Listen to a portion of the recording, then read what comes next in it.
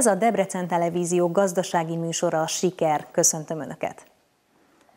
A piacon fellelhető új élelmiszerekről, összetevőkről, valamint innovatív technológiákról tanácskoztak hazai és külföldi táplálkozástudományi szakemberek a Debreceni Egyetemen.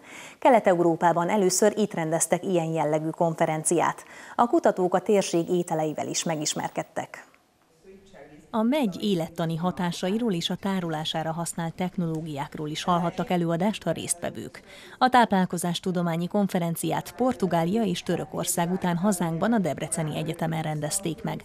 A programon a legújabb élelmiszerekről és azok összetevőiről tanácskoztak hazai és külföldi szakemberek.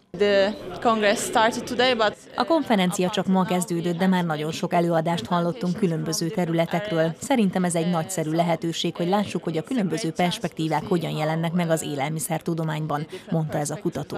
A konferenciára nem csak Európából, hanem a tengeren túlról, többek között Dél-Amerikából és Kanadából is érkeztek kutatók. Az a 20, 25, 30, 15 ország, ami, amelyikkel kapcsolatot tartunk, az, az mindegyik itt van.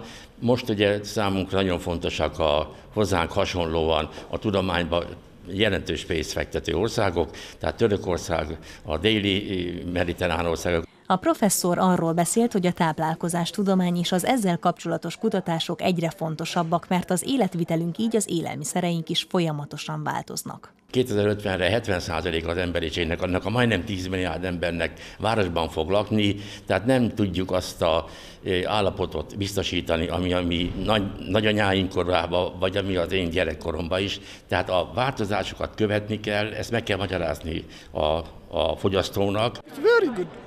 A résztvevők nem csak elméletben, hanem gyakorlatban is ismerkedtek a különböző ételekkel. Ennek a hallgatónak nagyon tetszettek a magyar ízek.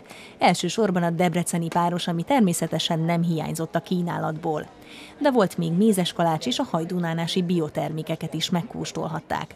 Az egyik térségbeli kiállító már nemzetközi sikereket is elért. Paprika alapú önteteket, szószokat készítenek, ami Igaz, hogy kis mennyiségben csinálják, kis volumenben állítják elő, de már nemzetközi megméretetés is sikerült nekik te igazolni a jóságukat, és amerikai versenyen első második helyezéseket tudtak elhozni termékeikkel.